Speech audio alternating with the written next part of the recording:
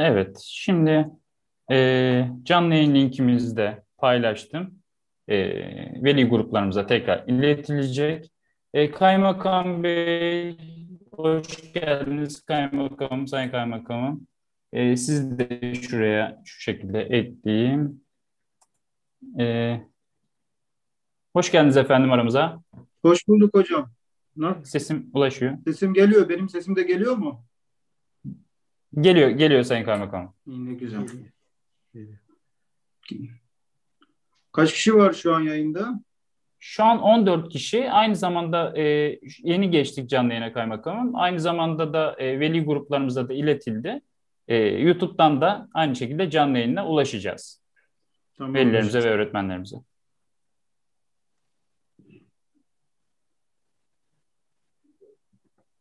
Yavaştan e, katılımcılarımız artıyor. Sonrasında programımızı başlatacağım. İçerik nasıl olacak süreç? E, kaymakam zaten e, Nurdan Bey ekranda görüyorsunuz değil mi? Nurdan hocamız da aramızda. E, çocukta özgüven nasıl gelişir konumuzu ele alacağız. E, Nurdan hocamın bu konu üzerine yazmış olduğu bir kitabı var. Aynı isimle e, yazmış olduğu bir kitabı var. E, bu kitap üzerinden de gideceğiz. Ve e, özellikle 8. sınıf öğretmenlerimizi ve 8. sınıfa giden e, öğrencilerimizi okutan öğret, e, velilerimizi ve öğretmenlerimizi davet ettik. E, burada özgüven üzerine biraz sohbetvari bir e, söyleşi gerçekleştireceğiz. Aynı zamanda sorularla da destekleyeceğiz. Tamam. Merhabalar İsmail Bey, Nurdoğan ben. Hocam merhabalar, nasılsınız? Merhaba. İyiyim, sağ olun. Siz nasılsınız? İyiyiz, teşekkür ederim. Hatırlıyor musunuz? Elbistan'da tanışmıştık. Ben o zaman Nurak Kaymakamıydım. Aa, vay canına. Ya şimdi hatırladım. Oradayken programınızı izlemiştik canlı olarak. Hatırlıyorum, hatırlıyorum. Nasılsınız, iyi misiniz? Teşekkür ederim hocam. Siz nasılsınız? Sağ olun, çok teşekkür ederim. Sonra oradan bu tarafa doğru. Sonra Beytüşşevab'a gittim ben. Şırnak Beytüşşevab'a. İki evet. yıl orada kaldım. Şimdi yaklaşık e, yarım sene oldu, ya, altı ay. Şimdi Ayancık'tayız inşallah. Ayancık'tasın. Hayırlı olsun. Memleketin hocam. hizmet veriyorsunuz. Şahane ya. Öyle. O zaman Nur Hak'a gelme sözünü almıştık ama sonra bizim tayinimiz çıktı. Şimdi Ayancık'ta sizi ağırlama şerefini duyuyoruz. Evet. O bana ait. Sa sağ olun. Yani. Nur Hak'a gittim ama sonra. Gittiniz mi? Gittim gittim. Nur Hak'a gittim. Orada Çok... e, yanılmıyorsam ilçe milli eğitim müdürü arkadaşımız o davet etti. Muhtemelen sizden kalan bir izledir. Şimdi oralarını bilmiyorum ama e, gittim sonra Nurhak'a. Ne güzel, ne güzel. Nurhak da bizim güzel ilçelerimizden biridir. Memleketimizin evet. her köşesi güzel. Nurhak malumunuz bir de mozaik bir yapısı var. Alevi, evet. Sunni, Türk, Kürt. Barış ve huzur içinde yaşıyor insanlarımız evet, evet, orada. Evet, evet. Şahane bir yer yani. Altı ay oldu geleli bu tarafa demek. Evet, evet hocam. Tam Ağustos'ta başladık burada göreve. Şimdi buradayız. Buradaki arkadaşlarımız da maşallah Milli Eğitim Müdürümüz olsun, Milli Eğitim ekibi de gayretli arkadaşlarımız. Evet. Allah kolaylık versin. Güzel işlere imza atıyorlar. Biz de izliyoruz böyle. Şahane, ne güzel ya. Şahane valla. Sizin çalışmalarınız ee, nasıl gidiyor hocam? Finalde devam ediyorsunuz. Final devam ediyor bir taraftan tabii. İşte diğer işler devam ediyor. Biliyorsunuzdur Doğan Hoca'yı kaybettik işte. Evet, evet Onu, çok üzüldük. Canımız yanıyor yani ondan sonra.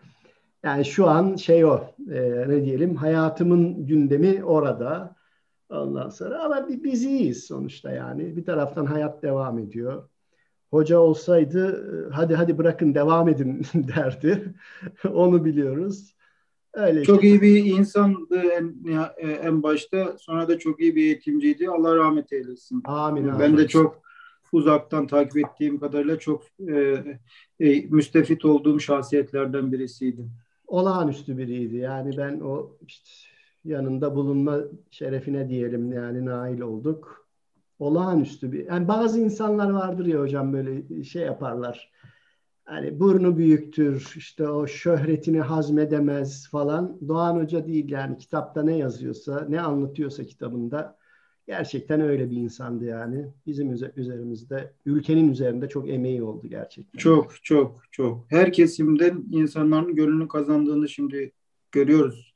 Her her cenahtan e, herkes üzülüyor. Bu da onun hakikaten e, ne kadar önemli bir etki yaptığını da gösteriyor geniş bir çevreye yani. Hele bu sıkıntılı kutuplaşmanın keskin olduğu dönemde her kesimin takdirini kazanmak öyle kolay değil malumunuz. Aynen öyle hocam. İsmail hocam valla bu dediğiniz o kadar önemli ki yani. Onu da e, demek ki yapılabiliyormuş yani. Herkesi kaynaştıracak bir yapılabiliyormuş demek ki yani. Öyle, öyle. Nihat Müdürüm de e, aramızda şu anda. Müdürüm hoş geldiniz. Hoş bulduk kıymetli hocam. Ee, bir teknik sorun oldu benim e, bilgisayarda. O yüzden biraz geciktim. Özür diliyorum. Sayın Kaymakamımızdan, kıymetli hocamızdan. Estağfurullah. Estağfurullah. İyi Hoş misiniz? geldin hocam. E, nasılsınız? Teşekkür ederim. Siz nasılsınız kıymetli hocam? İyisiniz. Sağ olun, sağ olun. Bizi burada ağırlıyorsunuz. Hoş gelmişsiniz, safalar getirmişsiniz. Çok teşekkür ediyoruz kıymetli hocam. Biz teşekkür ederiz. Ee, yani e, Sayın Kaymakamımızın e, himayelerinde e, birçok proje e, sürdürüyoruz. Onlardan bir tanesi bir kitap bir yazar projesi kapsamında e, ilçemize teşrif ettiniz. E, çok çok teşekkür ediyoruz kıymetli hocam. E, tabii bu programın gerçekleşmesinde Final Kültür Sanat yayınlarının da e, Banu Hanım'ın özellikle e, etkisi oldu. Ona da ayrıca teşekkür Kendisi ediyorum. Kendisi de aramızda evet. müdürüm. Evet. Doğan hocama da e, gerçekten çok üzüldük. Allah rahmet eylesin. Hı hı. Yani bir değeri, e, bir hazineyi kaybetmiş olduk. E, Allah'tan rahmet diliyorum. E, şu an e, çok da zaman e, almak istemiyorum ama şu an e, Arif hocam bilgi vermiştir. 8. sınıf öğrencilerimizin öğretmenleri ve velileri şu an bu platformda. Çocukta özgüven nasıl gelişir e, temalı e, programımızı sabırsızlıkla bekliyorlardır. E, ben programımızın hayırlara vesile olmasını diliyorum. E, Arif Hocam sen kaldığın yerden devam et. Teşekkürler müdürüm. E, kaymakamımıza da çok teşekkür ederim. E, izninizle öncelikle bir Banu Hocam'a da bir söz vereyim. Ona da çok katkılarından dolayı çok teşekkür ederim. Bu süreçte bizi yalnız bırakmadı. Ee, ben de çok teşekkür ederim Arif Bey. Sizin emekleriniz için çok uğraştınız. İsmail Bey, e, kaymakamım size de çok saygılar. Nihat Hocam size de çok saygılar. Çok teşekkür ediyorum. E, Nurdan Hocam'la heyecanlı bir şekilde bekliyoruz. E, hocam e, öncelikle şöyle bir başlı böyle bir girizgah yapalım. E, bir kitap bir yazar projesi kapsamında yürüttüğümüz e, e-konferansların ilki bu akşam başlıyor. E, çocukta özgüven nasıl gelişir konusunu ele alacağız bu gece. E, aldığımız konuyu özellikle e, sınava girecek öğrencilerimizin velilerine ve öğretmenlerine yönelik yapmayı planladık. Tabii ki bu konferanslarımız her hafta sürecek planlama dahilinde. Önümüzdeki haftada e, cumartesi akşamında e, 12. sınıf öğrenci öğretmenlerine ve velilerine yönelik aynı şekilde de sınav kaygısı e, üzerine e, e-konferansımız olacak. E, yine YouTube kanallarımızdan bizleri takip edebilir velilerimiz ve öğretmenlerimiz.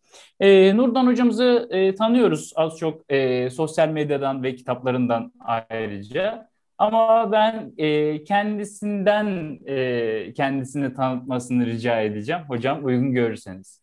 Estağfurullah sağ olun teşekkür ederim. Ee, ben sosyoloji okudum üniversitede. Yani toplum bilim okudum. Yani şu soruyu soran bilim dalını okudum. Ee, sosyoloji bir tane soruyla uğraşır. Tek bir sorusu vardır aslında bütün sosyoloji dediğimiz alemin. O da şudur, etkili, güçlü, başarılı bir toplum nasıl olmuş? Bunu araştırır. Her şeyi buna yöneliktir yani. Ee, bunu araştırırken de tabii çeşitli yerlere bakıyor. Yani topluma bakar, Türkiye örnek. Ee, ya da işte ne bileyim bir gruba bakar. Mesela ne bileyim e,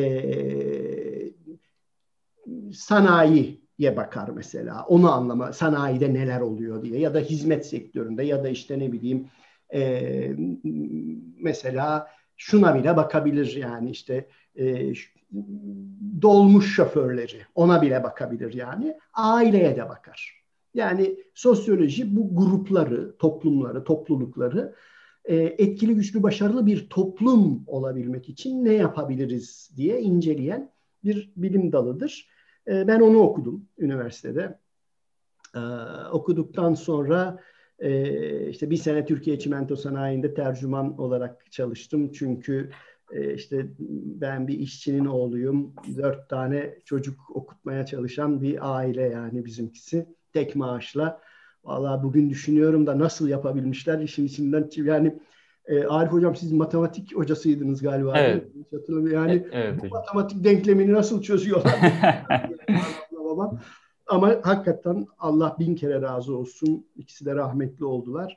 Bizi okuttular işte. Ee, ben tabii hemen işe fakirdik biz çünkü hemen işe girmem gerekiyordu. Türkiye Çimento Sanayi'nde çevirmen olarak işe başladım. Ondan sonra da e, hemen bir sene sonra Milli Produktivite Merkezi bir kamu kuruluşu. Benim üzerimde çok emeği vardır.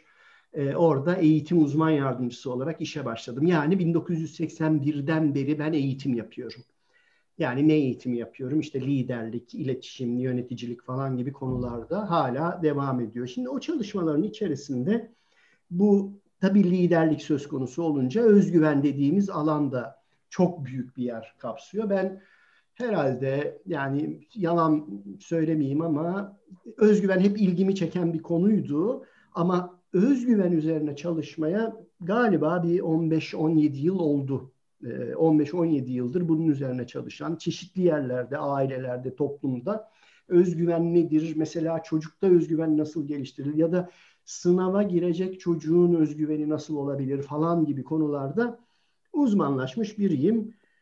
17 yıl Milli Produktivite Merkezi'nde çalıştım. Sonra da 3,5 yıl Doğan Hoca'yla, Doğan Cüceloğlu ile çalışma onuruna eriştim. Ondan sonra işte çok şey öğrendik ondan. Sağ olsun yani bin, bin tane şey öğrendim yani. Ee, sonra işte Doğan Hoca şirketi kapamaya karar verdi. Ondan sonra da ben 2001 oluyor bu tarih kapamaya karar verdi dediğim tarih. Ben 2001'den bu yana da tek başıma çalışıyorum. Ee, ama hep aynı şey liderlik, iletişim, yöneticilik, aileler, fabrikalar, iş yerleri, okullar onlar üzerine çalışan bir insanım. Çok teşekkür ederim hocam. Ee, güzel bir geniş bir özet oldu. Tabii ki de anlatmaya sığmayacak çalışmalarınız var. Zaten e, internetten de aynı şekilde YouTube e, kanalınız da var. Oradan da takip edebilir e, öğretmenlerimiz ve velilerimiz. Aynı şekilde kitaplarınızda erişebilirler. E, bu akşamın ana teması olan özgüven üzerine e, konuşalım istiyorum. Özgüven kelimesinin tanımını birçok tanımı var aslında. Sizin de tanımlarınız var. Sadece bir tanımdan ibaret değil sizin de e, kitaplarınızda gördüğümüz üzere. Bir, birden fazla tanımınız var. Bunlardan bir tanesi bir e, bireyin kendisini ortamdan bağımsız algılamasıdır. E, tanımınız çok hoşuma gitmişti. Bir de sizden e, aynı şekilde bir e, geniş bir özet tanım alabilir miyiz? Özgüven nedir hocam? Ya çok e, böyle şimdi e, kitapta çok geniş bir ayrıntı var. Ama o ayrıntının bir özeti var. Ben o özeti anlatayım. Kitapta bu, bu özeti de veriyorum ayrıca da. E, ya şimdi gerçekten şudur özgüven. Bu kişinin kendini bağımsız olarak algılaması meselesi şudur. E, Şimdi bana şunu diyebilirsiniz. Vay be adamın özgüvenine bak falan diyebilirsiniz yani. Ya da birini görürsünüz dersiniz ki böyle adam çakı gibi yürüyordur sokakta pat pat falan böyle şeydir omuzları diktir işte falan gövdesi ileridedir bilmem ne falan. Asıl mesele ama şudur. İçinde ne diyor? İçinden ne diyor kendisine? Eğer bir birey kendi içinde kendisine benim özgüvenim düşük diyorsa dışarıya ne görüntü verirse versin o işi değiştirmez yani. Örnek vereyim ne demek istiyorum. Örnek şu e, mesela bana geldiniz dediniz ki Arif hocam ya Nurdan hocam ya senle beraber gel şöyle bir Çince öğrenelim dediniz. Şimdi bu şöyle işleyen bir mekanizma hocam. Bu özgüven şöyle işliyor. Ben size bu cevabı vermeden yani yarım salise önce beynimin içinde bir ses dolaşır. Mesela şunu dedi diyelim ki ses yani. Çince mi? Çince, Çince ne ya? Ben Çince öyle öğrenemem ben Çince. Şimdi eğer bunu diyorsam, içeride bunu diyorsam ya ben Çince öğrenemem diyorsam size vereceğim cevap belli oldu şimdi. Ne diyeceğim belli. İki tür cevap verebiliyorum bu durumlarda benim gözlemlediğim. Bir, diyorum ki Ee, ya çok isterdim ama ya evde de iki tane çocuk var şimdi. Vallahi vakit de yok ya. Nasıl şimdi ben bilmiyorum ki ya. Yani ya şey iyi olurdu ama ya yani imkan uyuyor. Vallahi işten de eve yorgun geliyorum şimdi falan. Kıvırırım. Kıvırma nedenim ama içerideki o sestir. Yani Çince'ye kafam basmaz benim sesidir. Şimdi bu Çince'ye kafam basmaz benim sesi bu şekilde size kendimi söyleyebilirim. İkinci söyleyebilme biçimi şudur. Gene bak hep içeride oluyor bunlar Arif Hocam. İçeride olanı dışa aktarıyorum yani. İkinci söyleme şeyi budur. Ya Arif Hocam ya sağ ol beni iyi düşündün ama benim Çince'ye kafam basmaz. Doğruyu söyledim. İlkinde yanlışı söyledim. Kıvırdım yani. Hani halk tabiriyle kıvırdım. İlkinde kıvırdım. Şimdi soru şudur. Hangisi daha özgüvenli bir tavırdır? Size yekten şunu demem mi? Ya Arif Hoca benim kafam basmaz Çince'ye ya demem mi? Yoksa ya işte diyor, çocuklar var diyor işten geç geliyorum da hangisi bahaneler hangisi daha doğrudur? Hangisi bizi sonuca götürür? Evet. Size açık açık söylemem değil mi? Yani ya benim Çince'ye kafam basmıyor demem. Şimdi hocam e, bu da ayrıca bir özgüven gerektiren bir şeydir. Yani birinci kademe şu oldu özgüvende. Ben Çince'ye kafam basmaz. İkinci kademe ne oldu? Arif Hoca'ya Çince'ye kafam basmaz dersem beni şöyle anlar, beni böyle anlar, beni böyle. Bunlar da bak hep özgüven düşüklüğü. Bir insanın, şu soruyu soracağız kendi kendimize. Bir insanın doğruları söylemesi mi özgüvendir, doğruları gizlemesi mi özgüvendir? Doğruları söylemesi değil mi? Şimdi hadi toplumla ilişkisini kuralım. Bir ülke düşünün hocam. 82 milyon kişi olsun bu ülkede. Bu ülkenin 82 milyonunun tamamı daima doğruyu söylesinler. Daima. Hata bende desin mesela. Ee, hoca bana taktı diyeceğine valla ben çalışmadım ki ya sınava desin mesela. Anlatabiliyor muyum? Çocuk mesela gelip annesine şunu dediği zaman e, anne e, iki puan daha istesene hocadan iki puan istersen teşekkür alacağım dediğinde hocam işte çocuk çalışamadı da bilmem ne bu sene de şöyle oldu veri ver iki puan diyen bir anne mi daha sağlıklı toplumun işaretidir yoksa evlat zamanında çalışacaktım ben sana çalış dedim sen gittin cep telefonuyla oynadın yani çocuğunu gerçekle yüzleştiren mi gerçekten bu topluma hizmet ediyor olur acaba? Şimdi evet. özgüven dediğimiz şey yani içeride olan ve e, ama herkes öyle yapıyor. Bana ne? Nasrettin Hoca'nın şahane fıkraları vardır hocam. Bir gün niyetim var. Sadece Nasrettin Hoca fıkraları üzerinden bir eğitim yapacağım. Şirketlere, topluma eğitim yapacağım yani. Şimdi hoca diyor ki, hocanın fıkrası yani. Ee, şeye gitmiş, e, işte meydanda, köy meydanında oturuyorlarmış köylü e, gelmiş demiş ki hocam demiş bak demiş bir, bir tepsi baklava gidiyor demiş. Hoca bakmış bana ne demiş. Ama demiş hocam demiş senin evine gidiyor. Sana ne demiş. Şimdi hocam diyor ki bana 200 yıl önceden bana diyor ki hocam kardeş diyor aklını kullan senin için önemli olmayan seni ilgilendirmeyen şeye bakma sen diyor. Şimdi ben şunu çok duyuyorum hocam. Bu özgüven. Hep özgüven konuşuyoruz şu an. Şimdi hocanın özgüveni yerinde. Baklava gidiyor hocam. Bana ne? Beni ilgilendiren bir konu değil o. E ama e, senin eve gidiyor. O zaman da seni ilgilendiren bir konu değil. Şunu çok görürsünüz hocam. Benim yüzlerce sosyal medya hesaplarımda bana Allah razı olsun e, izleyen arkadaşlar, takip edenler dertlerini yazarlar. O kadar çok şununla rastlaşıyorum ki hocam diyor ben diyor almayacağım cep telefonu çocuğa ama diyor ama bütün arkadaşlarının var diyor. Arkadaşları ben almayınca bana diyorlar ki sen ne kötü babasın, sen ne kötü annesin diyorlar diyor. Ben de onlara Nasrettin Hoca'nın fıkrasını anlatıyorum. Sana ne diyeyim diyor. Sana ne demek özgüven gerektiriyor. Ama dersen bana kızarlar mı? Güzel. O zaman kırmayacak biçimde söylemeyi öğren. Örneğin şunu de ya komşucum, güzel komşucum, işte güzel arkadaşım benim ya. Ben almıyorum çocuğuma cep telefonu. Niye almıyorum biliyor musun? Bak sana da anlatayım. Belki senin de işine yarar. Çünkü zararlı. Hocam araştırmalar var. Pandemi öncesinde Dünya Sağlık Örgütü tarafından dünyada en hızla yayılan hastalık kabul ediliyordu. Cep telefonu, tablet, televizyon, bilgisayar bağımlılığı ve bu konuda dünyanın ikinci en uzun süre izleyen ülkesiyiz biz. İkinci. Hastayız yani. Gerekçelerde hep şu oluyor. Almayın diyoruz, şu anlatıyoruz. Şunun gibi bir şey. Çocuğunuz uyuşturucu istiyor. Gibi bir şey bu yani. Uyuşturucu isteyince herkes kullanıyor. Alır mısın öyle? Almazsın değil mi? Zararlı. Şimdi peki nasıl bu anne baba çevresine diyecek ki valla siz alıyorsunuz ama ben zararlarını biliyorum o yüzden almıyorum. Özgüvene ihtiyacımız var. Yani problem çözebilmek için özgüvene ihtiyacı var. Şimdi bana kırırlar.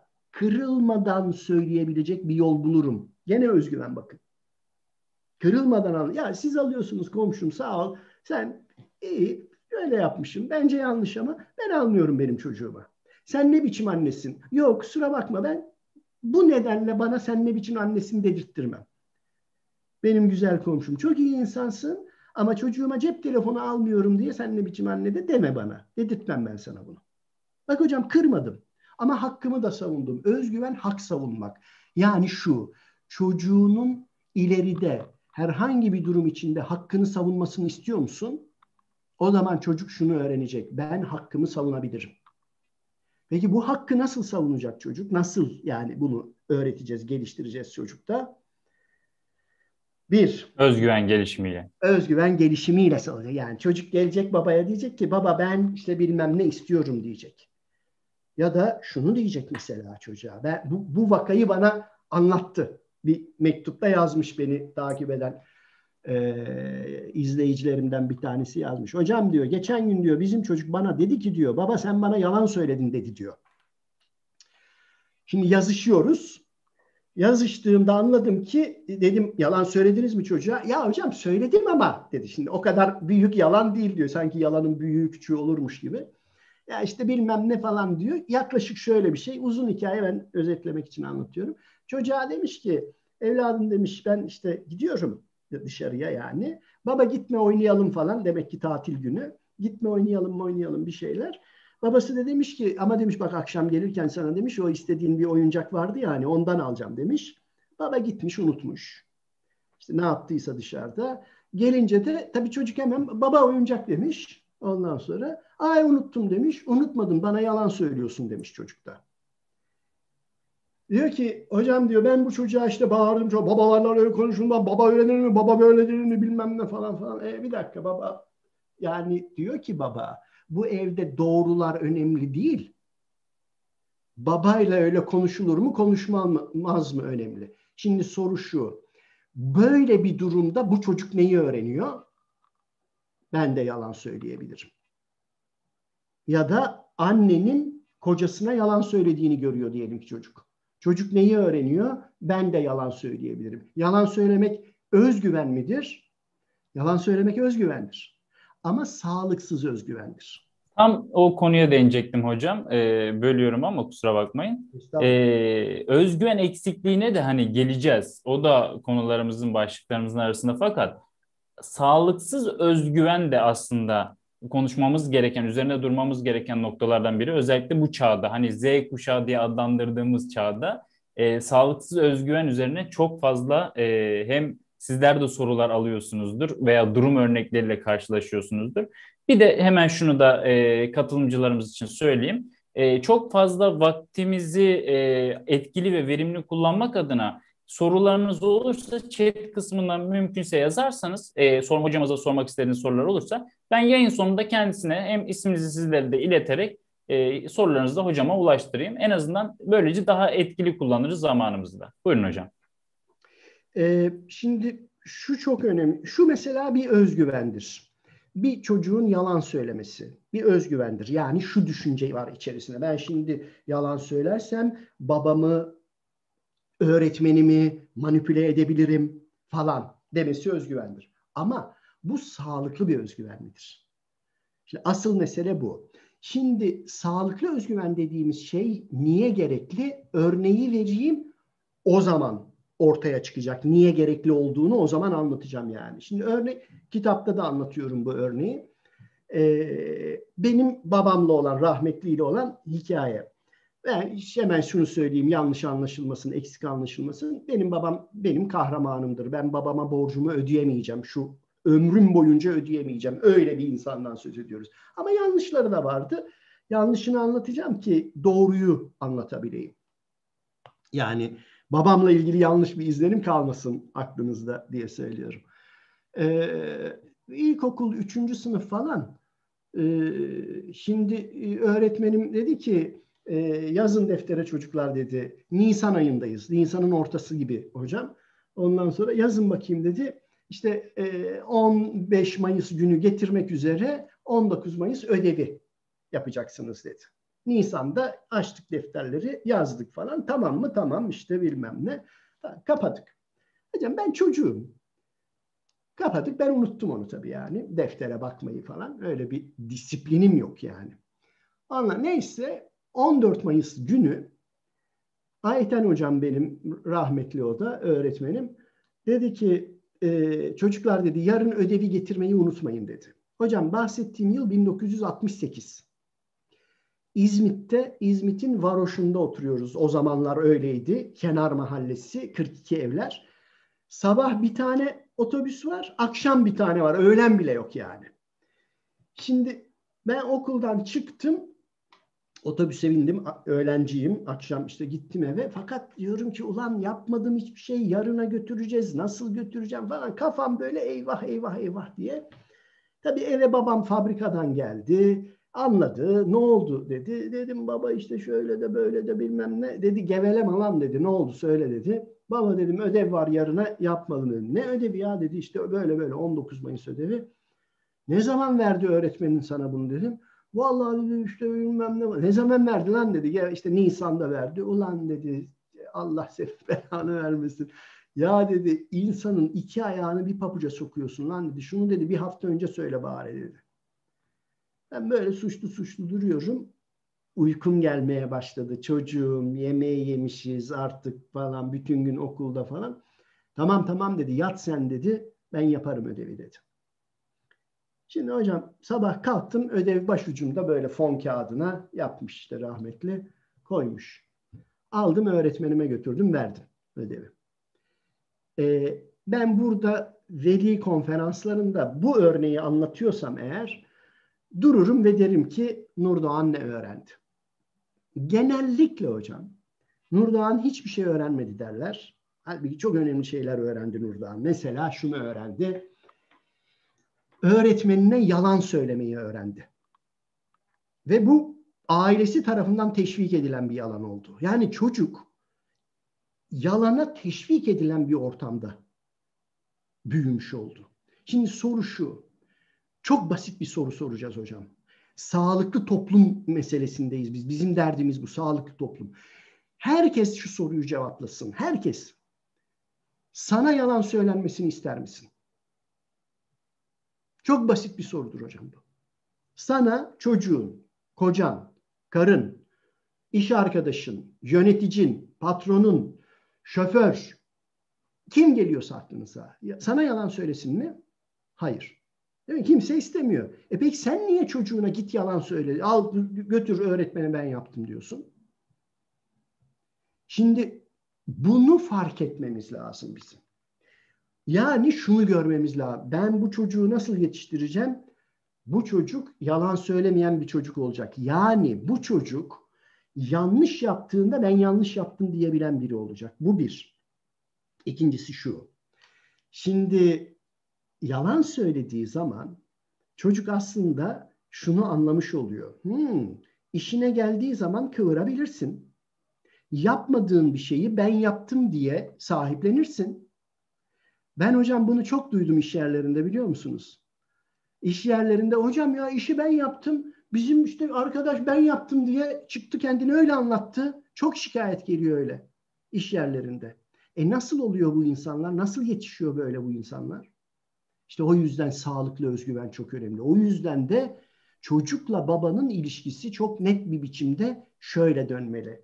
Çocuk geldi. Baba ödevim var. Aa ödevin mi var? Ne ödevi? 19 Mayıs. Aa ne güzel 19 Mayıs çalışman gerekecek değil? Evet. Onu e ne zaman? Yarın. Ha öyle mi? E bu kadar. Bak şunu bile demiyorum çocuğa. Şunu bile demiyorum. E otur hemen yap. Bunu bile demiyorum. Niye biliyor musunuz? Çünkü çocuğun daima ne yapmalıyım diye düşünmesi özgüveni geliştirecek olan şeydir.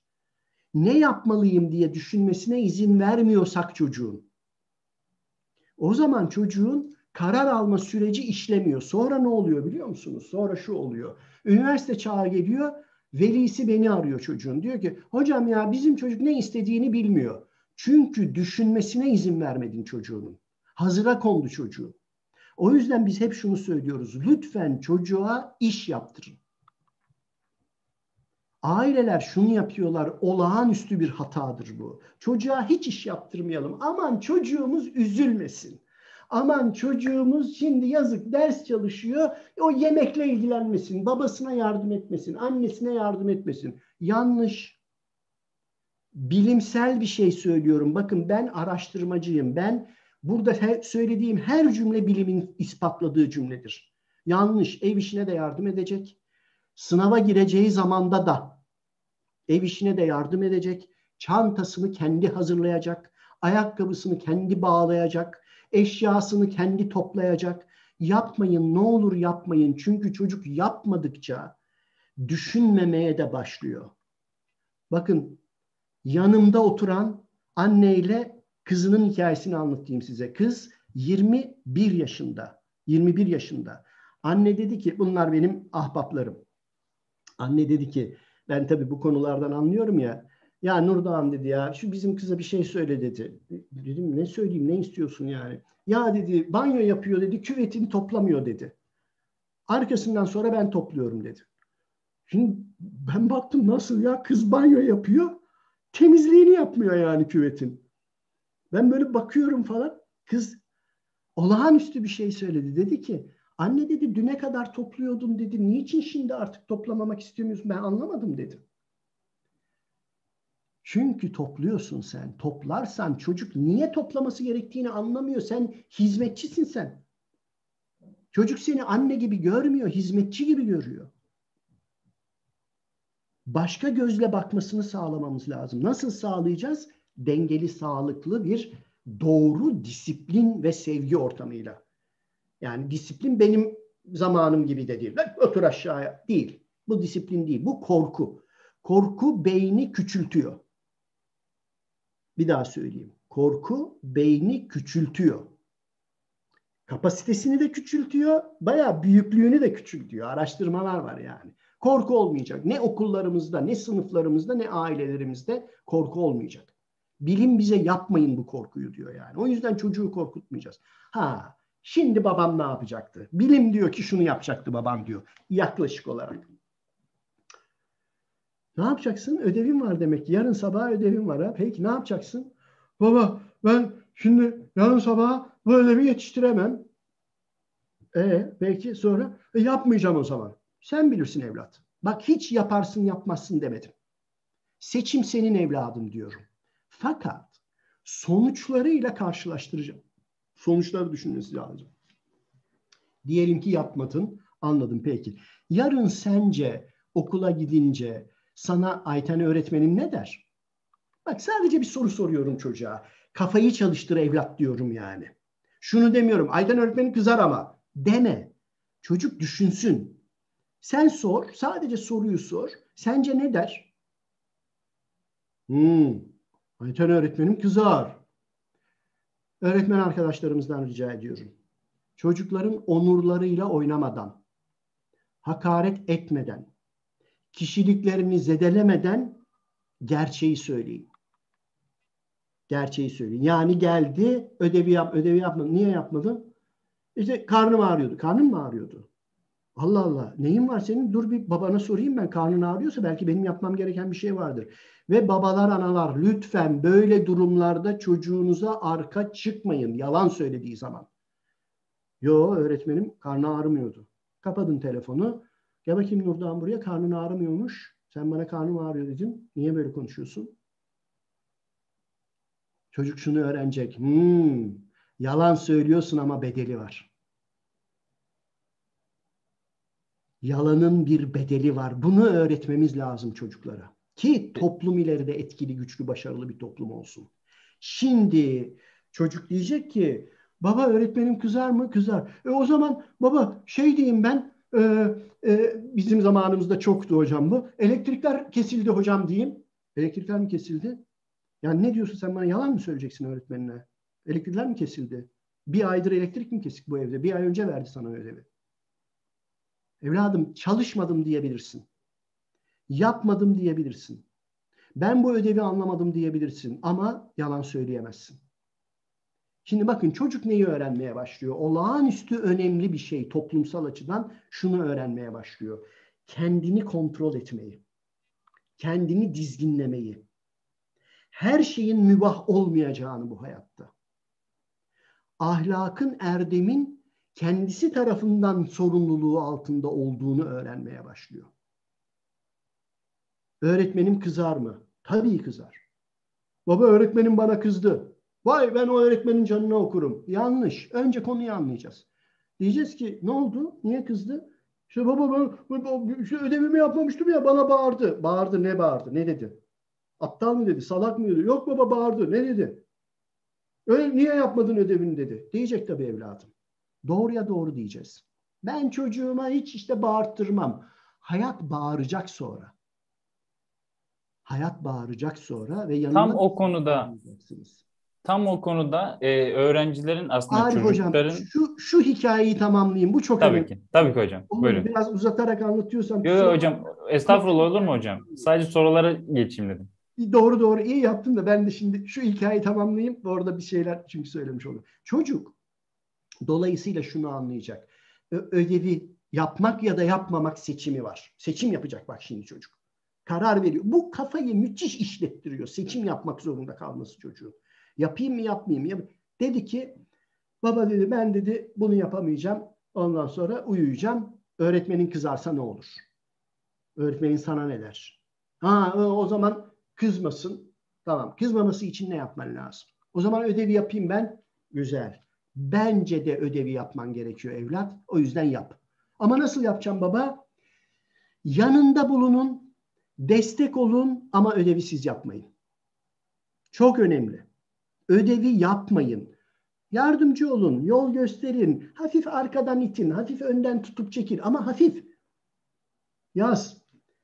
Atatürk 19 Mayıs 1919'da Samsun'a çıktı. İşte ülkemizi şöyle yaptı, böyle yaptı bilmem ne falan. Asla bunu yapmayın ne olursunuz. Çocuk sorumluluk üstlenmeyen bir çocuk olacak demektir. Sorumluluklarını bilmeyen yani küvetini de temizlemeyen bir çocuk olacak demektir. Zorluklarla nasıl mücadele edeceğini, zor durumlarda nasıl çare üretebileceğini bilemeyen bir çocuk olacak demektir. Çocuğunuzun böyle bir insan olmasını istemiyorsanız geri durun. Baba nasıl yapayım? Evlat, konu ne? Bak, yardımım bu. Konu ne? 19 Mayıs. Ne olmuş 19 Mayıs'ta? Baba bilmiyorum 19. Ya bilmiyorsun öyle mi? Gel bakalım kitaplara. Lütfen, lütfen, lütfen, lütfen tonlarca kitabınız olsun evde. Araştırmalar şunu gösteriyor. Hala beyni daha çok geliştiren bir şey şey için yani cep telefonu yani cep telefonundan araştırsın, tabletten araştırsın olabilir. Bunu araştırmak olabilir. Oyun oynamak, video izlemek, lak lak yapmak değil. Araştırıyorsa tamam çok dert değil orada. Fakat enteresan bir biçimde hala araştırmalar bize kitabın başka bir yeri olduğunu gösteriyor. Muhtemeldir ki daha ölçemedik buraları. Muhtemeldir ki tabletin televizyonun yanında bir sürü işte reklam, bir sürü bilmem ne girdiği için konsantrasyon kaybımız olabiliyor galiba. Bunları ölçmedik ama galiba bu deniliyor. Kitapta yok, reklam yok hocam. Kitabı açıyorsun, reklam yok burada. Hiç reklam gelmiyor. Al bakayım kitabı. 19 Mayıs'ta ne olmuş? Bak bakayım. Ha bilmem ne bilmem ne. Tamam işte bak. Bunu yapıyorsun. Kendi kitaba baktı, kendi araştırdı, kendi inceledi. Yani çocuk şunu öğrendi. Ben yapabilirim. Ben araştırabilirim. Ben çözebilirim. Mesela biraz daha senaryoyu ağırlaştırıyorum ki tam ne yaparsak sağlıklı özgüven geliştiririz onu anlatabilmek için. Çocuk buldu, yazdı kağıtlara, tamam dosya kağıtlarına yazdı. İki tane de resim kesti oradan. İşte Bandırma Vapuru, Atatürk, neyse Türkiye falan falan bir şeyler. Ondan sonra baba ben şimdi bunları fon kağıdına yapıştırayım. Yapıştır evlat, aferin. Baba fon kağıdı var mı evde? Bak bakalım bilmiyorum. Hazıra kondurmayın çocuğunuzu. Çocuk nereye bakacağım, evin düzeni nedir, nasıl yaparsam çare bulurumu öğrensin. Mücadele etmeyi, emek vermeyi öğrensin. Hazıra kondurduğunuz çocuklar ileride emek veremeyen, mücadele edemeyen çocuklar oluyorlar. Sonra perişan oluyor bu çocuklar. Bakın bu çocuklar benim karşıma fabrikalarda geliyorlar. Görüyorum öyle yetiştirilmiş çocukları. Perişan oluyorlar. Çok zorluyorlar beni. Ne yapıyorsun? İşte işimi yapmak gerekiyor. Bu. İşini yapmaktan kaçıyor. Çünkü annesi babası çözdü bütün işlerini. O yüzden çözmeyin diyoruz. Çocuk fon kağıdı baktı geldi. Baba yok fon kağıdı. Yok mu fon kağıdı? E, peki ne yapacaksın? Bak hiç çözüm bulmuyorum. Baba e, e, teyzemde var mıdır? Var mıdır bilmem. Sorayım mı? Sor. Sorarken ama önce bir halini hatırını sor. Telefonu açıp öyle hemen teyze sizde fon kağıdı var mı denmez. Açacaksın. Teyzeciğim nasılsın? İyi misin? İşte eniştem nasıl? Yeğenlerim nasıl? Önce bunları soracaksın tamam mı? Unutma. Ne yapıyorum çocuğa? Şimdi çok görüyoruz artık. Selam, sabah hiçbir şey yok. Açıyor. Ya yani hiç tanımadığım insanlar bana diyor. Açıyor iyi günler Nurdan Akış'la mı görüşüyorum? Evet buyurun. Nurdan Bey bizim bir eğitim şeyimiz vardı. Şimdi yöneticilerimize bilmem ne. Ya bir selam olsun şu toplumda ya. Bir sabah olsun, bir merhaba olsun ya. Öğreteceğiz. Bunların hepsini öğreteceğiz. Çocuk kendini kontrol etmeyi öğrenecek yani. Kendini kontrol etmeyi bilmeyen insanın özgüveni sağlıksızdır. Bunu vermek durumundayız insanlarımıza ki geleceğin toplumunda çok daha iyi bir ülkede yaşayalım biz. Bunun olması gerekiyor. Ee, aradı yok. Zorlaştırıyorum. Bilerek zorlaştırıyorum. Ne yapması gerekiyor diye. Bilerek zorlaştırıyorum yani. Yok mu? Ne yapacaksın? Baba bilmiyorum.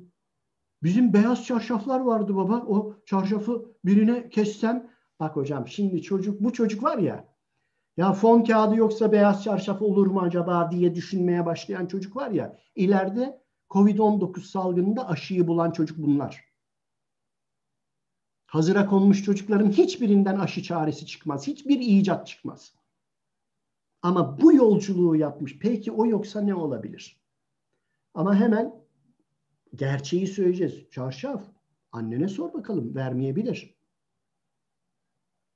Ha bedeli var ve bu çocuk o gece uykusuz kalacak ama şunu öğrenecek. Ben sorumluluklarımı yerine getirmeliyim. Soruyu şöyle soracağız kendimize. Sorumluluklarını yerine getiren bir insanın özgüveni mi daha iyidir? Yapmam, yapmayacağım, ödevimi yapmayacağım diyen bir insanın mı özgüveni daha iyidir? Toplum açısından, kendi açısından, ailesi açısından. O yüzden ne olursunuz çocuklarınızı biraz zora koşun. Kolaya değil. Hayatlarını kolaylaştırmayın. Biraz zorlaştırın. Biraz. Biraz. 11 yaşındaki çocuğa evin badana işini halletme görevi vermişler. Ustalarla görüşmüş bilmem ne falan var. Bu değil. Bu fazla geliyor çocuklara. Biraz zor, biraz zor. Birazcık zorlaştırın hayatlarını çocukların. Onların işlerini yapmayın. Merak etmeyin kapasiteleri çok geniş yaparlar. Hep hep zaten hocam e, aynı e, örnek verilir. Çocukları bir cam, e, kristal cam bardak gibi yetiştiriyoruz. E, örneği verilir. E, en ufak bir e, darbede, en ufak bir e, sıkıntıda paramparça oluyorlar. E, Gülşah Hanım da zaten sorusuna burada değiniyorum. E, chatten kendisi de yazmış. Aynı şekilde e, ebeveyn olarak da e, bizlerin aslında inisiyatif alan e, aslında büyük e, insanların da e, büyüdükleri zamanda çalıştıkları yerlerde de inisiyatif alan çalışanlara, inisiyatif alan insanlara ihtiyacı var bu ülkenin. Yeri geldiği zaman söyledim, yaptın. Ne söylerseniz onu yaparımı bunu robotlar da yapıyor ya da e, herhangi bir makineler de yapıyor. İnisiyatif alan ya da kendisini öne atabilen ya da bir şeyler üretebilen insanlara daha çok ihtiyacımız var. Dediğiniz gibi. Ee, burada özgüvenin doğuştan e, geldiği ya da sonradan oluştuğuyla alakalı e, bir e, bu konu üzerine konuşalım istiyorum. Özgüven doğuştan mı gelmiştir hocam yoksa e, sonradan mı kazanılır? Evet. Şimdi bu çok olağanüstü önemli bir nokta hocam. Şimdi e, ne olur dikkatle dinleyin. Çünkü ilk söyleyeceğim cümle yanıltır sizi. İlk şunu söyleyeyim. Evet özgüven doğuştan gelir. Ama şimdi devamını dinleyin. Burası daha önemli. Bütün çocuklarda da özgüven yüzde yüz olarak gelir çocuklar dünyaya. Doğuştan herkeste yüzde yüz. Nereden anlıyoruz? Şuradan anlıyoruz. Bir, bir çocuk karanlıktan korkmaz, fareden korkmaz, yılandan korkmaz, karanlıktan korkmaz, ateşten korkmaz, büyükten korkmaz, silahtan korkmaz, yabancıdan korkmaz. Hiçbir şeyden korkmuyor çocuk. İki, hiçbir çocuk yalan söylemez. Çocuktan alıverir. Öyle değil mi? Hiçbir çocuk yalan söylemiyor. Olağanüstü bir şekilde dünyaya gönderiyor Yaradan bizi. Diyor ki evlat, çünkü özgüven neye yarıyor? Çok kısaca söyleyeyim, uzatmayayım oraları. O şeydir. Özgüven problem çözebilen, tedbir alabilen ve icat edebilen insanı oluşturmak üzere Yüce Rabbim vermiş herkese. Demiş ki evlat al bunu kullan demiş. Fakat çok ilginç bir şey var. Beyin sabit bir şey değil. Şimdi yeni öğrendiğimiz bilgi şu. Biz hep şöyle düşünüyorduk. İnsan doğuştan nasıl geliyorsa öyle gidiyor. Adeta şöyle düşünüyorduk. Beş parmağım var. E, altı parmak olmuyor bu işte yani. Gözümün rengi mavi. Bunu istesem kahverengi yaparım diyemiyorum. Ya. Olmuyor bunlar. Bunlar sabit özellikler. Fakat bu tür beyinle ilgili meseleler, örneğin özgüven, başka şeyler, güven var işin içinde falan. Onlar önemli değil. Bizim konumuz özgüven olduğu için. Dünyaya tam olarak gelmesine rağmen onu zamanla değiştiriyoruz. Nasıl değiştiriyoruz zamanla? Şimdi çünkü şu, onu da söyleyeyim öyle devam edeyim. Çünkü şu son beyin araştırmaları şunu gösteriyor ki öğrenme hiç bitmiyor. Hatta çok güzel bir haberim var size. 70'li yaşlarda falan şahane öğreniyorsunuz. Hepimiz şahane öğreniyoruz yani. 70'li yaşlarda falan yeni beyin bilgisi bize bunu kanıtladı. Hiç tereddütünüz olmasın yani. Öğrenmeyi en çok beynin öğrenebilir kapasitesini en çok engelleyen şey ne biliyor musunuz? Şu cümle, kafamızın içindeki şu cümle, bir özgüven cümlesi. Ben öğrenemem ki diyorsanız evet öğrenemiyorsunuz. Ben öğrenirim ki diyorsanız gerçekten ama öyle şey değil hani ben öğrenirim canım şey değil. Gerçekten içinden ben öğrenirim diyorsanız evet öğrenebiliyorsunuz. Her konuyu. Şunlar doğru değil. Ne olur maalesef ülkemiz yanlış yapıyor. E, e, onda sosyal sayısal zekası var. Bunda sözel zekası var. Böyle bir ayrım yok. Hiçbir bilimsel temeli olmayan bir ayrım bu. Her insanda ben 63 yaşındayım bu yaşta dahi istesem en ağır matematik formülünü öğrenirim bir sosyolog olarak. Buradaki herkes de herkes öğrenebilir. Bunların hepsi kanıtlandı. Yeter ki beynin içinde engel olmasın. Şimdi çocuğun engeli yok ya. Kafasının içinde bir engel yok ya. Çocuk o zaman ne yapıyor? Bir gözleyelim bakalım çocuklarımızı ne yapıyor. Şimdi ben yaptım. Burada başka yapan var mıdır acaba? Ee, çok ufağım. Kaç yaşındayım bilmiyorum. Çok ufağım. Ee, şeker arıyorum. Anam şekerleri saklıyordu rahmetli. Şeker arıyorum büfenin tepesine çıktım hocam. Bak 3 ya da 4 yaşındayım. Hiç kimseden yardım almadan büfenin tepesine çıktım. Burada vardır büfenin tepesinde çocuğunu görmüş olan ya da kendisi yapmıştır. Yapan vardır yani. Ama ben şu çocuğu da gördüm. Mezunlar gününe gittik üniversitenin. Arkadaşları görüyoruz orada. Eski, vay 20 senedir görmemişim. Karşıdan bir çocuk geldi. Karısı var yanında, kızı var yanında. Kız 11 falan yaşlarında. Ondan sonra ulan bu bizim hadi atıyorum İbrahim diyeyim. Bu bizim İbrahim'e benziyor. İbrahim sen misin lan dedim. Vay Nurdan ne haber? Kucaklaştık, kucaklaştık. İşte karısıyla tanıştı, kızıyla tanıştırdı. Bir ağaç güneş ağacın altına geçtik. Orada ne yapıyor, ne abi, neredesin abi, İşte sen ne yapıyorsun falan falan böyle konuşuyoruz. Çocuk da tabii sıkıldı. iki tane yetişkin konuşuyorlar falan. Ağacın hocam şimdi nasıl gösteririm onu bilmiyorum. Şöyle düşünün. Burası toprak seviyesi olsun. Ağacın kökü şöyle bak şu kadar 10 santim şöyle kökü çıkmış toprağın altına giriyor tekrar tamam mı? Çocuk şunun üstüne çıkıyor. Hocam vallahi 10 santim bile değil. Şunun üstüne çıkıyor. Bir eli ağaçta. Annesi dedi ki düşeceksin, düşeceksin gel dedi. 10 santim ya. Sanırsın 5000 metre orası.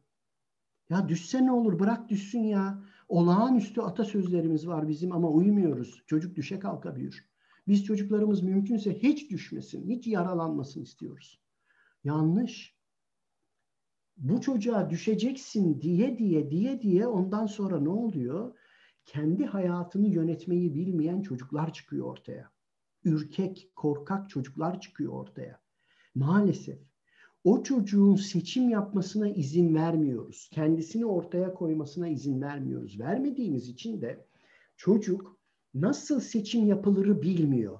Doğru olan nedir'i bilmiyor. Benim becerilerim nedir'i bilmiyor. O yüzden hep şu örneği anlatırım. Kitapta da anlattım bu örneğimi. Bir arkadaşım çocuğu emekleme aşamasında henüz. Dedi ki emekliyor bizimki artık. Ay dedik ne güzel hadi bakalım işte bilmem ne. Ya dedi peşinden koşmaktan öldüm ya dedi. Babası. Dedim nasıl öldün ya? Ya işte tutuyorum kafayı sehpaya vurmasın, oraya vurmasın, buraya vurmasın. İşte eşyaları çekiyoruz. İşte yarın gideceğim bilmem ne alacağım eşyalarını. Yapma bırak. Kafayı vursun. Ama dedi canı yanar. Ya canı yanması lazım ki öğrensin. Canı kafayı sehpa şimdi bak hocam.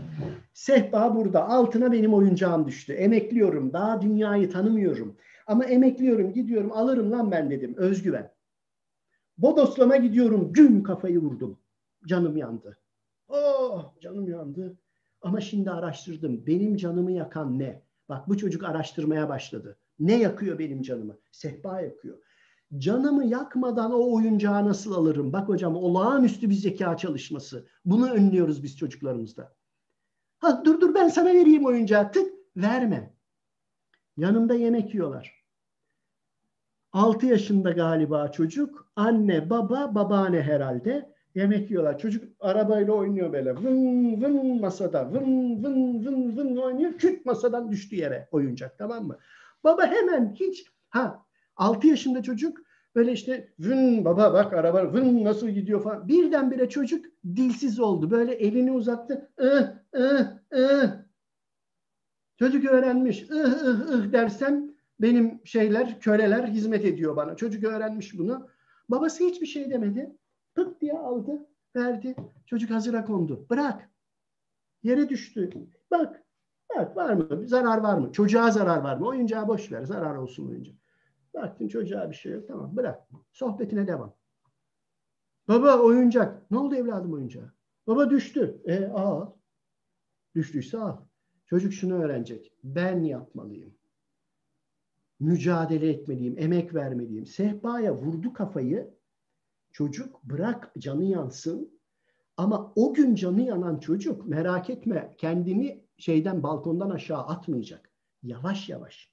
Yavaş yavaş yavaş yavaş çocuğun nerede canı yandığını, ne yaparsa canı yanmadığını öğrenecek. Bu kendini kontrol etmesini sağlayacak. Bu çocuk doğru karar verecek. Doğru karar verdiği için de bu sınava hazırlanmalı mıyım, hazırlanmamalı mıyım kararını da verecek. Çok önemli. Bakın nereden nereye geldik yıldırım hızıyla. Bunu yaparsak, şimdiden yapmaya başlarsak ileriki sınavlarını doğru dürüst bir biçimde yapabilme sorumluluğunu alacak çocuklarımız, vatandaşlarımız yetişir. O nedenle çok çok kritik bir şeyden söz ediyoruz. O yüzden çocuklarımızın canı yanmasını istiyoruz biz de ama canı yansın ki öğrensin. Bırak sehpayı toplama. Tak diye kafayı vurdu, geri çekilecek. Şöyle alayım diyecek. Alırken eli buraya vuracak. Aa o demek ki şöyle almam lazım diyecek. Ama bu çocuk bedenini kontrol etmeyi öğrenecek. Bedenini kontrol etmek çocuğun ilk zaferidir. Bunu unutmayın. Bedenini kontrol etmek çocuğun ilk zaferidir. O yüzden bırakın ayakkabıyı bağlasın. Ayakkabıyı bağlamak onun zaferidir. elini bacağını kontrol etmeye başlar. Ben kon, kendimi kontrol edebilirim ve gerekli yetenekleri öğrenebilirim. Yani kafam basıyor diyen çocuğumuz olur. Biz çocuğun ayakkabısını bağlayıp, ödevini bağlayıp, ağzına yemeği soktukça çocuk ben anlamam, ben kafam basmaz oluyor. Ne oluyor biliyor musunuz? Arkadaşımın evine misafirliğe gelmişler.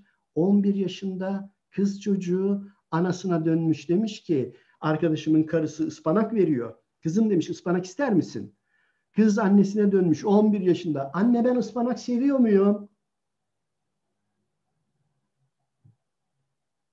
Neden bilmiyor bu çocuk ıspanak sevip sevmediğini? Çünkü annesi sen onu yeme, istemezsin. Doymadı karnın şundan bir tane daha ye. Susamışındır al su iç. Hiç düşünmeme gerek yok ki ne istediğimi benim.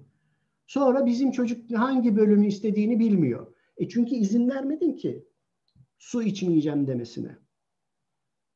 Karar vermesine izin vereceğiz. Bırakacağız karar versin ve bedelini ödesin. Kararlarının bedelini ödesin. Burada e, bir de e, çocukların aslında bir proje olmadığının hani farkına varmamız gerekiyor. Yanlış söylemiyorum herhalde hocam. E, bu, bu güzel bir başlangıç olur. Hem öğretmenler açısından hem yani biz öğretmen olarak biz de bazen hani bu tip e, hataları yapabiliyoruz. E, ne kadar eğitimin içinde olsak da. E, çocuğun bir proje olmadığının farkına vararak bir e, güzel bir başlangıç yapıyoruz aslında. Sorularımdan bir tanesi de şeydi aslında. Özgüven eksikliği olan bir birey e, belirli bir yaştan sonra bunu değiştirmeye çabalarsa olumlu gelişme kaydedebilir mi diyecektim ki siz zaten cevabını verdiniz. E, soru, az önceki sorunun cevabını. Her yaşta e, Basitçe ne yapacak? Basitçe hocam söyleyeyim. Basitçe şu. Şu ana kadar yapmadığı bir şeyi yavaş yavaş yapmaya başlayacak. Örnek, en şey örneği vereyim. Ya ben spor yapmadım şimdiye kadar. Güzel. Yarın 50 metre git. 50 metre. 5 kilometre değil. 5 kilometreyi yaptın mı bitersin. Vücudun ham çünkü. Gerçekçi değil. 50 metre git. Git gel. 100 metre oldu. Tamam. Ertesi gün bir daha 50 metre. Ertesi gün bir daha 50 metre. Ertesi gün bir daha. Sonra ha tamam oldu. Güzel iyi hissediyorum. Çık 75 metreye gibi. Yavaş yavaş zorlaşan antrenmanlarla farklı farklı alanlarda sporda olabilir. Kitap okumayı beceremiyorum. Beceremiyorum dediğin için okuyamıyorsun. Ben kitap okumayı beceririm demeye başla. Başla. İlk gün iki sayfa. Fazla değil. Sıkılırsın. İki sayfa ilk gün. Bir hafta öyle git. Sonra üç sayfa. Ha sıkılmadın 20 sayfa demek senin sınırın daha iyi. O zaman 25 sayfa oku. Gibi. Yavaş yavaş. Antrenman yapa yapa yapa bütün çalışmalar gösteriyor ki antrenman yaparak bir sürü şeyi öğrenebiliyoruz. Aslında yapamam e, dediğimiz için başaramıyoruz. Başaramadığımız için yapamam diyoruz. Sonra yapamam dediğimiz için tekrar başa aslında bir kısır döngüye giriyor Kesin. ama o ya kısır hani... döngünün başlangıcını e, biz özgüven eksikliğimizle başlatıyoruz aslında. İlk ilk e, ateşi orada yakıyoruz. Şahane. E, diyebiliriz. Şahane bir özet Arif Hocam. Teşekkür ederim hocam. Estağfurullah. E, hocam burada e, yine 8. sınıf öğrenci velilerimiz ve e, öğretmenlerimiz olduğu için özgüvenle motivasyon ilişkisini de konuşalım istiyorum. Çünkü motiv bizim eğitimde ve e, öğretimde daha çok e, bu dönemlerde yaşadığımız en büyük sorunlardan bir tanesi bu. Hatta öğretmenler toplantılarında sık sık konuştuğumuz, çözümler aradığımız, öneriler dile getirdiğimiz konulardan bir tanesi bu. Öğrencilerde bir motivasyon kaybı var. Yani bizim e, zaman, yani ben de çok e, yaşlı değilim neticede ama e, daha küçükken şey vardı. Hani çalışmamız gerektiğini bir içten içe bir bilgimiz vardı. Çalışmamız gerektiğini, nedenlerini biliyorduk az çok. Ama öğrencilerde şu anda e, o neden çalışması gerektiğini bile bilmiyor ya da onun onları güdüleyecek, motivasyonu arttıracak bir e, etken mi yok? Yoksa biz mi bu etkenleri bulamıyoruz? Ya da çok etken var, bir dikkat dağınıklığı mı söz konusu? E, bunu neticelendiremiyoruz bir şekilde. E, motivasyon özgüven ilişkisini kurabilir miyiz hocam? Tabii tabii. Ee, ideal durum şu, çocuk kendi kendine desin ki benim dersim var, oturuyorum, çalışıyorum desin. Şimdi bunu demesi zor bir çocuğun. Niye zor? Çünkü şimdi dışarıdan bakalım meseleye. Ya okul tuhaf bir yer. Yani biz büyükler biliyoruz ne kadar değerli, anlamlı ve güzel bir yer olduğunu ama şimdi bir çocuk gözüyle bakınca ya hocam düşün şimdi 10 yaşındasın dışarıda lapa lapa kar yağıyor. Hocan sana diyor ki buraya konsantre ol. Ya bırak şimdi orada kar topu oynayacaktık biz. Do- çocuk açısından doğrusu bu yani. Bu zor. Ne istiyoruz biz? Çocuk onu bıraksın ya da işte ne bileyim e, ne sizin neydi hocam? Hamsi hamsi koy muydu? Şeyde Hamsilos hocam. Hamsilos, Hamsilos. Tamam, Fiyord, evet. evet. Çok Hamsilos Fiyordu. bir yerdir. Çok severim ben Ayancı'yı falan. Çok çok Cangal ormanlarında falan çok gezmişliğim vardır yani. Şimdi çocuk şimdi orayı düşünür. Yazın orayı düşünür. Ma- Mayıs geldi. Ee, ya ulan bir Hamsilos'a gitsek de o mavi suda bir yüzsek falan der çocuk. Normali bu. Biz ama ne istiyoruz? Çocuk buna konsantre olsun. Şimdi bu zor. Bir, bunu kabul edeceğiz. Bu bir zorluk. İkincisi fakat yapacak bir şeylerimiz var. Şimdi ne var yapacak şeyimiz? Bu hem okulun hem de ailenin ama asıl ağırlık ailededir burada. Hocam ben şunu duydum bak şimdi. Çocuğun üniversiteye hazırlanmasını istiyor. Üniversite çağı yani zamanı gelmiş. Üniversite sınavı zamanı gelmiş. Konuşuyoruz. diyor ki çocuğuna baba bu. Diyor ki evladım diyor işte çalışman lazım diyor. Burada oyalanmaman lazım diyor. Git diyor çalış orada diyor işte 300 soru sor, 500 soru sor, işte bilmem ne lazım falan falan diyor. Çocuk işte biraz böyle mutsuz ama gidiyor sonuçta. Gidiyor oraya. Hocam biraz sonra yemek işte hep beraber yemek yiyoruz. Babanın konuştuğu konu şu. Ya abi okuyan da ne oluyor? Bir numara olmuyor ki abi okuyorsun da okuduk okuduk ne oldu abi? İşte okumamış bir herifin fabrikasında çalışıyoruz işte ya diyor. Ya bunu deme. Bunu dediğin zaman çocuk diyor ki ulan okumada bir numara yokmuş diyor. Çocuğun kafa karışıyor. Karıştırma kafayı. Karıştırma kafayı. Bir. iki Çocuğun kafayı nasıl karıştırıyoruz hocam? Evde televizyon açık. Televizyonda da bizim mübareklerin hepsi şey anlatıyor değil mi? Kitabımızı okuyalım, işte bilim insanlarına sorular soralım. Yok. Hiçbiri programlardan memnun değil hocam. Ben küçük araştırmalar yaptım bu konuda. Televizyon izleyenlerin hiçbiri programlardan da memnun değil ama hala izliyoruz. Kapatacağız televizyonu. Çünkü çocuğa sürekli iki kanal yanlış mesajlar veriyor. Diziler. Kim çalışıyor dizilerde doğru dürüst? İdeal çalışma gibi bir çalışmayı nerede gösteriyor? Yok. Herkes bir zengin oluyor. Bir şekilde zengin oluyor. Bir tuhaf ilişkiler. E şimdi çocuk ona bakıyor. Annesi onu seyrediyor. Ama annesi ona diyor ki git içeriye sen dersini çalış. Anne sen ne yapacaksın? Ben dizi var. Benim dizim var. Bilmem ne apartmanı kaçırmayayım. Kaçıracaksın. Çocuğa model olacaksın. Zorlanıyor çocuk motive olmakta. O zaman ne yapacaksın? Sen örnek olacaksın. Yani kapa televizyonu sen de bir şey öğren. Ha öğrenmek güzelmiş diyecek çocuk. Anam da öğreniyor, babam da öğreniyor, bu yaşımda öğreniyor. Ben de öğrenirim. Haline dönüştürmemiz gerekiyor. Biz çocuklardan şahane olmalarını istiyoruz ama kendimiz bir şey yapmıyoruz.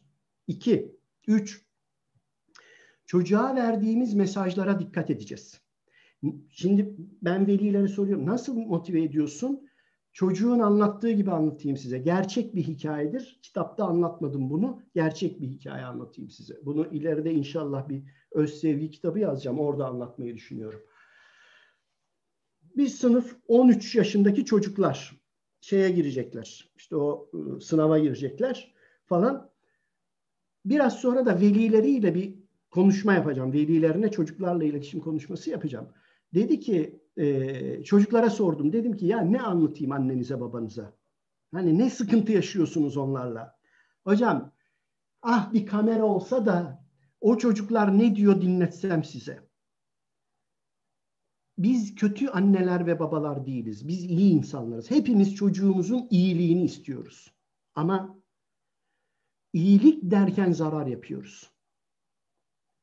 Dedi ki bir tanesi Lütfen söyleyin dedi, adil olsun dedi. Adil olsun, adalet olsun evde diyor. Şimdi ulan ben biliyorum bir anne baba çocuğuna adaletsiz davranmaz, istemez, bunu yapmak istemez ama çocuk da bir şey söylüyor bana. Bu çocuk da enayi değil.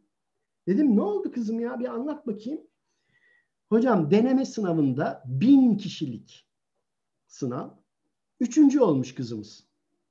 Üçüncü olmuş. E dedim. Üçüncü oldum söyledim. Babam dedi ki dedi birinci olmadıktan sonra gözüme görünme dedi demiş babası. Dedim adalet nerede? Bitmedi ki dedi. Kızdı bana da. Bitmedi ki dedi. Dedim ne oldu? Bir ay sonraki deneme sınavında birinci olmuş. Bin kişi içinde birinci olmuş. Eve gitmiş böyle babasına demiş baba birinci. Zaten babaya gelmiş bilgi de. Sorular kolaydır demiş. Şimdi bu çocuk motive mi olur? Böyle bir çocuğun motive olma ihtimali var mı ya? Dedim adaletsizlik nerede? Niye dedi üçüncü olduğum zaman evladım sorular zordur ondandır demiyor dedi. Bak hocam bu çocuk var ya o evi daha iyi yönetir biliyor musunuz? Biz çocukları duymayı, dinlemeyi öğrensek bu çocuk adalet dağıtır evin içinde. Baba bunu kötülüğünden yapmıyor. Ama şunu sorayım, ne olduğunu anlasın baba. Empati yaptıracağım şimdi babaya. Böyle bir baba benim karşıma gelse ben bu babaya şunu sorarım. Ya güzel babam benim. Sen hayatının şu anki yaşam diliminde çocuğunun birinci olmasını istiyorsun. Anlıyorum. Peki bana söyler misin sen şu hayatının şu anki yaşam diliminde hangi alanda birincisin? Hangi alanda sen birincisin? Ya bu o kadar kolay bir şey mi ya? Fabrikada birinci sen misin? İş yerinde birinci sen misin? Apartmanda birinci sen misin? Çocuğundan niye böyle bir şey istiyorsun? Senden böyle bir şey istendiğinde ne hissedersin? İş yerinde şunun olduğunu düşün. Mesela diyelim ki çok güzel bir şey yapmışsın. Üçüncü olmuşsun. Şak şak şak şak. Patronun sana geliyor diyor ki üçüncü oldun ama birincilik dışında ben bir sonuç kabul etmiyorum diyor. Yüzüne bile bakmıyor mesela patronun. Birinci oluyorsun, eh, diğer yarışmacıların hepsi dandikte ondan olmuşundur diyor. Çok mu hoşuna gider? Bu ortam çocuğu motive eden bir ortam mı olur? Şunu yapsak. Mesela şunu yapsak. Televizyon, televizyon kapadık. Öneririm. Duruma bakın ama öneririm. Akşam interneti kestik evde. Hocam vazgeçeceğin şu. Facebook'ta like etmeyeceksin. Bundan vazgeçiriyorum seni. Kusura bakma. Dünyayı kurtarmıyorsun o cep telefonuna bakıp oradan işte formüller, uzaya nasıl çıkarız işte bilmem ne. Yap birbirimizi kandırmayalım. Kes. Herkes burada. Herkes bir şey çalışıyor. Baba ben bir yabancı dili öğreneyim diyor. Anne diyor ki ya bu Mars'a gidiyor insanlar nasıl gidiyormuş ya ben bunu bir araştırayım diyor.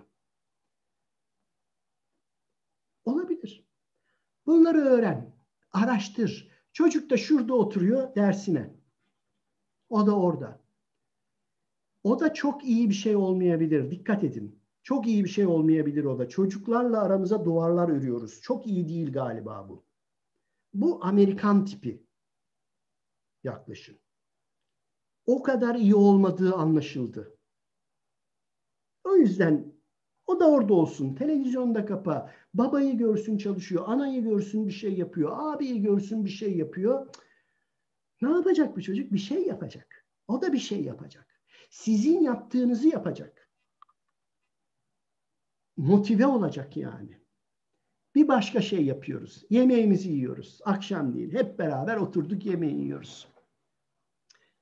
Sohbetimizi açsak. Sohbetimiz şu olsa. Ya Bugün ne öğrendim ben biliyor musunuz ya? Bakın ne öğrendim biliyor musunuz? Bu kalemler var ya, bu kalemleri yaparken her gün bir şey öğrenmeyi hedefleyin. Öğrendiğiniz şeyi anlatmayı, hevesle, zevkle anlatmayı deneyin. Anne de bir şey anlatsa, yavaş yavaş çocuk da size şunu anlatmaya başlayacak. Şimdi ben bu sahneyi gördüm, size söyleyeyim. Örnek başka bir örnekti. Uzun olduğu için öyle anlatmayacağım. Örneği ben ürettim ama sahneyi gördüm. Anne bugün ne öğrendim biliyor musun? Hindinin sindirim sistemini öğrendim. Hindinin sindirim sistemini mi öğreniyorsunuz siz hala? Ya yuh artık ama bu çağda ya. Evladım git düzgün şeyler öğren ya. Ya bırak bırak. Bırak. Bu çocuk önce hindinin sindirim sistemini merak eden anneyle karşılaşınca ileride merak etme Kuantumu da öğrenecek. Öyle mi? Neymiş? İşte anne şöyleymiş, böyleymiş, bilmem neymiş falan falan. Aa öyle mi? Peki sonra işte o kursak varmış, o kursaktan yüzü. Kursak ne? Kursak anne, kursak. Ay öğrendim ben kurs. Öğ- unuttun mu? Olur be olayalım. Gel gel gel. Gel kitaptan bakalım. Şurada vardı bir tane. Gel. Açalım bakalım kursak neymiş? Bu çocuk motive olur. Ha. Sınava az kaldı. 8. sınıftayız. Bu sınav içinde başlayın bunu yapmaya merak etmeyin. Çok iyi sonuç almayabilirsiniz. Ama önemli olan o değil. Önemli olan süreç içerisinde önümüzdeki o hangi lisede olursa olsun o lise boyunca siz bu dediklerimi yapın merak etmeyin üniversiteye çok daha iyi hazırlanır. Vaktiniz var yani. Vaktiniz var. Ama ne olur, ne olur bugün başlayın. Bugün başlayın. Ertelemeyin. Bu ertelenecek bir şey değil. Gelecek ertelenemez. Gelecek şu an yaşanır. Şu an geleceği yaşarsınız. Yani hocam e, belki kazanım olarak e, şimdi isim vermeyeyim. X lisesini kazandıramadık belki. Bu yaptığımız çalışmalarla kazandıramayacağız belki ama ona daha sağlıklı bir özgüven e, kazandıracağız çocuğumuza. Aynen. Ve bu bir ömür sürecek, bir ömür olan bir kazanım olacak. Belki bir dört senelik bir lise değil, bir ömürlük bir kazanım elde etmiş olacağız. Çok doğru. E, hocam aslında bir sürü sorum var ama e, bir saati de açtık. Sizi de çok yormak istemiyorum. E, izleyicilerimizi de çok yormak istemiyorum. Aslında sorularım bayağı bir defterim hazırdı. E, sorularımda da e, merak ettiğim şeyler çok vardı. E, öncelikle şu, e, somut e, ön, öneriler sunduğunuz için, somut örnekler üzerinden gittiğimiz için çok daha etkili olduğunu düşünüyorum kendi adıma. E, sizin kitaplarınızı da şöyle göstermek istiyorum. Mümkün adlı kitabımı e, hocamızın. Aynı şekilde e, aynı isimle Çocukta Özgüven Nasıl Gelişir isimli kitabında hocamızın edinip okuyabilirsiniz e, sevgili arkadaşlar diyorum. E, sözü ufaktan bir e, Nihat Müdürüme de e, söz vermek istiyorum. Buyurun müdürüm. Hocam, e, Sayın Hocam, öncelikli olarak e, çok dolu dolu bir program geçti. Hakikaten şu rak- saate baktım şu an e, bir saatin üzerinde süre geçti. Nasıl geçtiğini ben şahsım olarak e, fark edemedim. E, hayatın içerisinden örnekler verdiniz. Bebeklikten e, hayatın sonuna kadar özgüven e, olumlu anlamda e, özgüven sahibi olabileceğimizle ilgili e, örnekler verdiniz. Bu sadece 8. sınıf e, öğrencilerimize yönelik değil elbette. Hepimiz için. E, başarmak için ben özet olarak e, şu sonucu çıkardım hocam. E, yani yanlışsam düzeltebilirsiniz. Başarmak için e, önce inanmak gerektiğini. E, bunu başarabileceğimizi yani o çocuklarımız veyahut da hayatın herhangi bir alanında herhangi bir kişi herhangi bir konuyla ilgili e, başarabileceğine önce in, kendisinin inanması e, gerektiğini özet olarak e, anladık. Bunu örneklerle e, şekillendirdiniz. E, çok dolu dolu bir program geçti. E, çok çok teşekkür ediyorum. Çok istifade ettim. E, tüm öğretmen arkadaşlarım ve e, bu platformda bulunan veliler adına sizlere çok teşekkür ediyoruz. Kıymetli hocam e, Çangal ormanlarından bahsettiniz. Ayancık'tan bahsettiniz. Ayancık'ı biliyorsunuz. Biz sizi yüz yüze de ağırlamak isteriz bu arada. Sayın Kaymakamımız e, e, YouTube'dan takip etti. Ayrılırken e, çok çok selamlarımı iletin diye özellikle belirtti. Ben onu e, burada aktarmış olayım. E, inşallah o da sizi tanıyor zaten. Geldiğinizde sadece program yapmaya da gerek yok. Yani ailenizle birlikte gelirseniz e, biz sizi ağırlamaktan onur duyarız kıymetli Tamam. hocam. Ee, E, tekrar Hocam- saygılar sunuyorum. Çok teşekkür ediyorum. Sağ olun. Nihat Hocam ben de size başta siz olduğunuz için, Kaymakam Beyimize başta onlar olduğu için ve bütün Milli Eğitim Teşkilatı'na ilçedeki katılan bütün arkadaşlarımıza, buradaki herkese, YouTube'daki, buradaki herkese çok çok teşekkür ediyorum. Arif Hocam size çok teşekkür ediyorum. Sağ olun. Banu Hanım size de çok teşekkür ediyorum.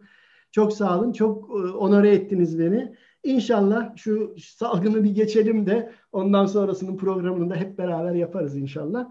Ee, oralar burnumuzda tütüyor hakikaten eşimle beraber. Çok yad ediyoruz yani oraları.